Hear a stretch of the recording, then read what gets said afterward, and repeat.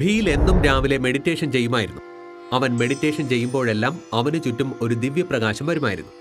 ഒരുപക്ഷെ ഏതെങ്കിലും മനുഷ്യനോ മൃഗമോ ഈ പ്രകാശത്തിന്റെ അടുത്ത് ചെന്നാൽ അവർ ഹീൽ ചെയ്യപ്പെടുമായിരുന്നു.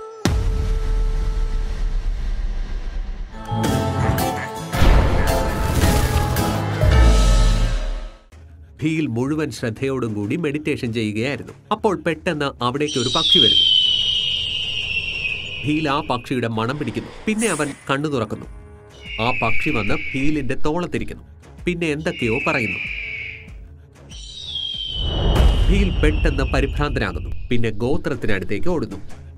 ഭീലിന്റെ സ്പീഡ് പതുക്കെ പതുക്കെ കൂടുന്നു. പിന്നെ അവൻ കൊടുങ്കാറ്റ് പോലെ വേഗത്തിൽ ഓടുന്നു. ഭീൽ കുറച്ച് സെക്കൻഡുകൾക്കുള്ളിൽ തന്നെ ഗോത്രത്തിൽ എത്തിച്ചേരുന്നു അവിടെ രജനി എന്തൊക്കെയോ കാട്ടിക്കൂട്ടിയിരുന്നു. രജനിയുടെ കൈകൾ ഇപ്പോഴും കെട്ടിയിരിക്കുകയായിരുന്നു. പക്ഷേ തന്റെ പവറിന്റെ സഹായത്തോടെ രജനി അവിടെയെല്ലാം നശിപ്പിച്ചിരുന്നു. അവിടെയുള്ള എല്ലാവരും പേടിച്ചിരിക്കുകയായിരുന്നു. എന്നെ തുറന്നു വിടൂ ഇല്ലെങ്കിൽ ഞാൻ എല്ലാവരെയും ശരിയാക്കും. രജനിയുടെ പവർ കണ്ട് ഭീലും ആലോചനയിൽ മുഴുകുന്നു. ഈ പെൺകുട്ടി ആരാണ്? പിന്നെ ഇവളുടെ കയ്യിൽ ഇത്രയും പവേഴ്സ് എങ്ങനെയാണുള്ളത്? ഭീൽ പെട്ടെന്ന് തന്നെ തന്റെ ശക്തി ഉപയോഗിച്ച് രജനിയെ പോസ് ചെയ്യുന്നു. പിന്നീട് ഒരു മുറിക്കുള്ളിൽ അടച്ചിടുന്നു. ഭീൽ രണ്ടാമതും രജനിയെ മണപ്പിക്കുന്നു. പിന്നെ രജനിയുടെ മുടി നോക്കുന്നു. ഇത് കണ്ട് രജനിക്ക് നല്ല ദേഷ്യം വരുന്നു. പിന്നെ അവളുടെ ബോഡിയിൽ നിന്ന് തീ വരുവാൻ തുടങ്ങുന്നു രജനിയുടെ കണ്ണിൽ നിന്ന് ലേസർ വരുന്നു. പിന്നെ ആ ലേസർ കൊണ്ട് ഹീലിന് പരിക്കും പറ്റുന്നു. ഇപ്രാവശ്യം ലേസർ രജനിയുടെ കയറ് പൊട്ടിക്കത്തക്ക വിധത്തിൽ അത്ര സ്ട്രോങ് ആയിരുന്നു. ശരിക്കും ഈ പെൺകുട്ടിക്ക് എന്നെക്കാളും കൂടുതൽ ശക്തിയുണ്ട്. രജനി തന്റെ ശക്തി ഉപയോഗിച്ച് ഭീലിനെ ഉയർത്തി കറക്കുന്നു. ഭീൽ രജനിയുമായി എതിരിടുന്നതിന് വേണ്ടി തന്റെ ശക്തി ഉപയോഗിക്കുന്നു. പക്ഷേ രജനി ഭീലിനെ ഫോക്കസ് ചെയ്യുവാൻ അനുവദിക്കുന്നുണ്ടായിരുന്നില്ല. ഭീലിന് രജനി പോസ് ചെയ്യുവാൻ കഴിയുന്നുണ്ടായിരുന്നില്ല. സ്വയരക്ഷയ്ക്കായി ഭീൽ തറയിൽ ശക്തിയായി ഇടിച്ച് മുകളിലേക്ക് പോകുന്നു. മുകളിലേക്ക് പോയ ഉടനെ ഭീൽ ഫോക്കസ് ചെയ്ത് രജനിയെ പോസ് ചെയ്യുന്നു. രജനിയുടെ ദേഷ്യം തണുക്കുന്നു. പക്ഷേ അവളുടെ ബോഡി ശക്തിയായി വിയർക്കുവാൻ തുടങ്ങുന്നു. അപ്പോൾ അവിടെ അവരുടെ കൂട്ടത്തിലുള്ള ഒരു പെൺകുട്ടി വരുന്നു. ഭീൽ ഭീൽ വരൂ വരൂ. നമ്മുടെ കൂട്ടത്തിൽ ഒരു പ്രേതം വന്നിട്ടുണ്ട്. ഭീൽ രജനിയെ വിട്ട് വേഗം ആ പെൺകുട്ടിയുടെ കൂടെ അവരുടെ ഗോത്രത്തിലേക്ക് പോകുന്നു. അവിടെ പ്രേതം പറന്നു നടന്ന് അവിടെയുള്ള കുട്ടികളെ പേടിപ്പിക്കുന്നുണ്ടായിരുന്നു. ഞാൻ നിന്നെ വെറുതെ വിടില്ല.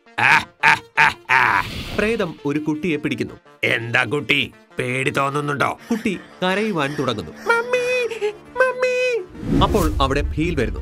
ഭീൽ തന്റെ കയ്യിൽ നിന്ന് ഭയപ്പെടുന്നു.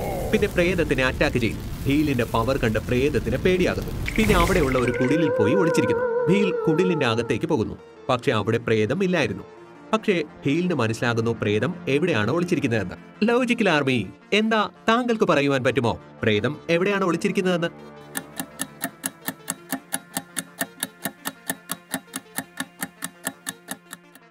കുടിലിൽ ഒരുപാട് ഉണങ്ങിയ മത്തൻ തൂക്കിയിട്ടിട്ടുണ്ട്. പക്ഷേ ഒരു മത്തൻ ചരടില്ലാതെയാണ് തൂങ്ങിക്കിടക്കുന്നത്.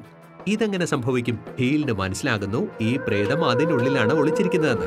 ഭീൽ പ്രേതത്തിനെ പിടികൂടുന്നു. പിന്നെ അതിനെ നല്ലവണ്ണം മർദ്ദിക്കുന്നു. പിന്നെ ഭീൽ പ്രേതത്തെ പിടിച്ച് കുടിലിൽ നിന്ന് പുറത്തേക്ക് വരുന്നു. അപ്പോഴേക്കും പ്രേതത്തിന്റെ അവസ്ഥ പരിതാപകരവുമായിരുന്നു. എന്താ പ്രേതാംഗ്ലേ ഇപ്പൊ എങ്ങനെയുണ്ട്? പക്ഷേ പെട്ടെന്ന് അവസരം മുതലെടുത്ത് പ്രേതം അവിടെ നിന്ന് ഓടിപ്പോകുന്നു. പിന്നെ അടുത്ത് തന്നെയുള്ള ചോളത്തിന്റെ വയലിൽ ഒളിച്ചിരിക്കുന്നു. ഭീൽ തന്റെ കാൽ തറയിലിടിച്ച് വലിയൊരു ജമ്പ് ചെയ്ത് നേരെ വയലിൽ എത്തിച്ചേരുന്നു. ലോജിക്കൽ ആർമി എന്താ താങ്കൾക്ക് ഈ വയലിലെ സീൻ നോക്കി പറയുവാൻ പറ്റുമോ? പ്രേതം എവിടെയാണ് ഒളിച്ചിരിക്കുന്നതെന്ന്?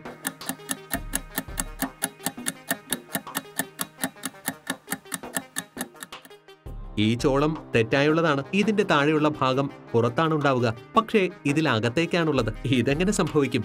പെട്ടെന്ന് ഭീൽ തന്റെ ശക്തി ഉപയോഗിച്ച് ക്യാപ്സ്യൂൾ പ്രത്യക്ഷമാക്കുന്നു. പിന്നെ ഗോസ്റ്റിനെ ക്യാപ്സൂളിനകത്ത് പിടിച്ചിടുന്നു. അടുത്ത് തന്നെ നിൽക്കുകയായിരുന്ന രജനി ഇതെല്ലാം കാണുന്നുണ്ടായിരുന്നു. രജനിക്ക് മനസ്സിലാകുന്നു ഈ ഭീൽ അവളെയും മെഷിനെയും പോലെ ഒരു ഗോസ്റ്റ് ഹണ്ടർ ആണെന്ന്. അവിടെ യേഷ് തന്റെ ഗോസ്റ്റ് ഗോസ്റ്റിസ്ഥാനിൽ സ്വിമ്മിംഗ് ചെയ്യുകയായിരുന്നു. അറിയില്ല രജനി എവിടെ ആയിരിക്കുമെന്ന്. കുറെ ദിവസങ്ങളായി. പക്ഷെ അവളെക്കുറിച്ച് ഒരു വിവരവുമില്ല. യേഷ് വെള്ളത്തിൽ നിന്ന് പുറത്തേക്ക് വരുന്നു. പിന്നെ സ്വിമ്മിംഗ് റീലിന്റെ അടുത്തിരുന്ന് ആപ്പിൾ കഴിക്കുന്നു. അപ്പോൾ പെട്ടെന്ന് യേഷിനെ കുറച്ച് കുറച്ച് ഓർമ്മ വരുന്നു. യേഷ് വളരെ ചെറുതായിരുന്നു. ഒരു ചെറിയ ടബിലിരുന്ന് കുളിക്കുകയായിരുന്നു. ആരോ മുകളിൽ നിന്ന് ഏഷ്യനെ വെള്ളം ഒഴിക്കുന്നുണ്ടായിരുന്നു എന്നെ ആരാണ് കുളിപ്പിക്കുന്നത്? എനിക്ക് എന്തുകൊണ്ടാണ് അവരുടെ മുഖം ഓർമ്മ വരാത്തത്? എന്താ?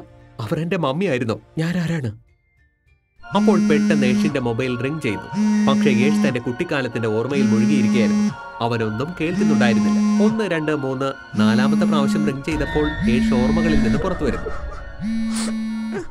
യഷ് കോൾ റിസീവ് ചെയ്യുന്നു. അപ്പോൾ ഡയമണ്ട് ഷോറൂമിന്റെ മുതലാളി റൊണാക് യഷിനോട് പറയുന്നു സർ സർ പ്ലീസ് പെട്ടെന്ന് തന്നെ ഇവിടേക്ക് വരൂ.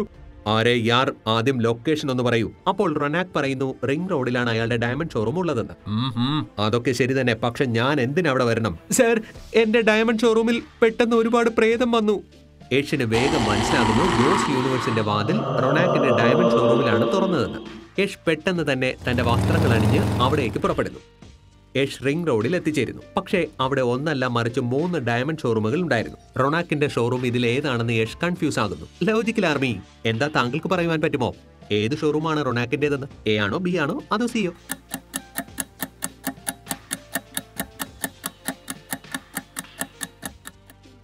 ആദ്യത്തെയും മൂന്നാമത്തെയും ഷോറൂമുകളിൽ ലൈറ്റ് കത്തുന്നുണ്ട്. പക്ഷേ രണ്ടാമത്തെ ഷോറൂമിൽ നോക്കൂ വാതിൽ തുറന്നിരിക്കുകയാണ്. പിന്നെ നല്ല ഇരുട്ടുമാണ്. ഇതിനർത്ഥം ഇവിടെ എന്തോ കുഴപ്പമുണ്ടെന്നാണ്. യഷ് രണ്ടാമത്തെ ഷോറൂമിന്റെ അകത്തേക്ക് കടക്കുന്നു. അവിടെ ഗോസ് യൂണിവേഴ്സിന്റെ കറുത്ത വാതിൽ തുറന്നു കിടപ്പുണ്ടായിരുന്നു. അവിടെ പ്രേതങ്ങളെല്ലാം ഡയമണ്ട് ചെക്ക് ചെയ്യുകയായിരുന്നു. ആരെ യാർ ഈ പ്രേതങ്ങൾക്ക് ഭ്രാന്തായോ? ഇവരെന്തിനാണ് ഡയമണ്ട് ചെക്ക് ചെയ്യുന്നത്? ഈ മുഴുവൻ കല്ലുകളും കാണാൻ ഒരുപോലെയാണ്. എങ്കിൽ നമുക്ക് എങ്ങനെ അറിയാൻ പറ്റും? ഇതിൽ ജൽമണി ഏതാണെന്ന്? ജൽമണി കാണുവാൻ ശരിക്കും ഡയമണ്ട് പോലെയാണ്. അതുകൊണ്ട് ഗോസ് യൂണിവേഴ്സിലെ പ്രേതങ്ങൾ വിചാരിച്ചു ജെൽമണി ഡയമണ്ട് ഷോറൂമിലാണ് ഉള്ളതെന്ന് ഈ കല്ലുകളെല്ലാം നമ്മുടെ കൂടെ കൊണ്ടുപോകാം. വെറും കൈയോടെ പോയാൽ അവർ നമ്മെ വെറുതെ വിടില്ല. പിന്നെ പ്രേതങ്ങളെല്ലാം കൂടി ഡയമണ്ട് കളക്ട് ചെയ്യുവാൻ തുടങ്ങും. ആരേ യാർ ഒരുപക്ഷെ ഈ പ്രേതങ്ങൾ ഡയമണ്ട് എടുത്തുകൊണ്ട് പോയാൽ പാവം ആ റൊണാക് ദരിദ്രനായി പോകും. യഷ് ഒട്ടും സമയം കളയാതെ തന്നെ കളിക്കളത്തിൽ ഇറങ്ങും എന്തൊക്കെയുണ്ട് ഫ്രണ്ട്സ്? യേഷ് നീ വീണ്ടും വന്നോ? എത്ര കാലം ഇങ്ങനെ നീ തുടരും? യേഷിനെ പ്രേതങ്ങൾ ആക്രമിച്ചു ഏഷ് സ്വയരക്ഷയ്ക്കായി ശ്രമിക്കും. പ്രേതങ്ങളെല്ലാം ഒരുമിച്ച് ഏഷ്യനെ ആക്രമിച്ചു അപ്പോൾ പെട്ടെന്ന് അവിടെ ഒരു സന്യാസി വരുന്നു. പിന്നെ തന്റെ മാന്ത്രിക വിദ്യ കൊണ്ട് പ്രേതങ്ങളെ അവിടെ നിന്ന് ഓട്ടിക്കുന്നു. Thank you സന്യാസിജി. എല്ലാ പ്രാവശ്യവും പോലെ താങ്കളുടെ എൻട്രി ഇന്നും കൃത്യസമയത്ത് തന്നെയായിരുന്നു. എന്നിട്ട് സന്യാസി യഷിനോട് പറയുന്നു അദ്ദേഹത്തിന് ഒരു പ്രധാനപ്പെട്ട കാര്യം യഷിനോട് പറയാനുണ്ടെന്ന്. ഇതിനുശേഷം സന്യാസി യഷിനോട് പറയുന്നു ഒരുപാട് വർഷം മുൻപ് സമുദ്രത്തിനടുത്ത് ഒരു ബാസ്ക്കറ്റിൽ നിന്നാണ് എനിക്ക് നിന്നെ കിട്ടിയത്. സമുദ്രത്തിന്റെ വഴിയിൽ ദക്ഷിണ ഭാഗത്ത് നിന്നായിരിക്കാം നീ വന്നത്. ഒരു പക്ഷേ നിനക്ക് നിന്റെ കുട്ടിക്കാലം അറിയണമെങ്കിൽ നിനക്ക് ദക്ഷിണ ദിശയിലേക്ക് പോകേണ്ടതായി വരും. യേഷ് തന്റെ കുട്ടിക്കാലത്തെ കാര്യങ്ങൾ അറിഞ്ഞ് ഒരുപാട് ഇമോഷണൽ ആകുന്നു അതിനുശേഷം സന്യാസി തന്റെ മാന്ത്രിക വിദ്യ കൊണ്ട് ഒരു ബോക്സ് പ്രത്യക്ഷമാക്കും. യേഷ് ഈ ബോക്സ് എനിക്ക് നിന്റെ അടുത്ത് നിന്നാ കിട്ടിയത്. ഞാൻ ഇത് തുറക്കുവാൻ ഒരുപാട് ശ്രമിച്ചു. പക്ഷേ ഇത് തുറക്കുവാൻ പറ്റിയില്ല. ഈ ബോക്സ് നിന്റെ പപ്പയുടേതായിരിക്കാം. അപ്പോൾ ഏഷ ബോക്സ് ടച്ച് ചെയ്തപ്പോൾ അത് തുറക്കുന്നു. അതിനകത്ത് ഒരു ഗൺ ഉണ്ടായിരുന്നു.